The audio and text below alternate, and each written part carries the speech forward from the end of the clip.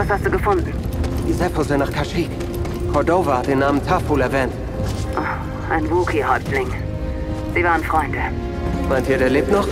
Das gilt es herauszufinden. Wir müssen nach Kashyyyk.